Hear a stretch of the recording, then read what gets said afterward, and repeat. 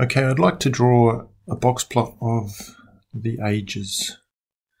So I select with my mouse the um, the column with that data in it, and then insert, and the blue histogram is where the box plot option lurks. So click there, and then box and whisker.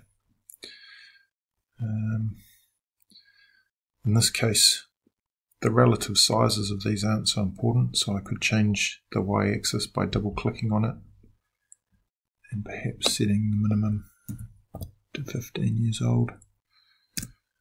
Um, and using the plus, um, we can make sure it's got all the various bits and pieces we want.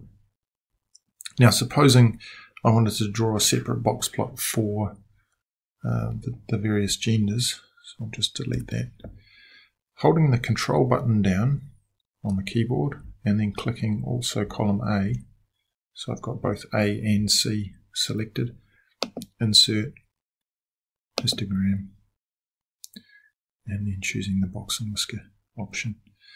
And there it's drawn, it's separated out the ages um, by gender and drawn a box plot of each of those subsamples.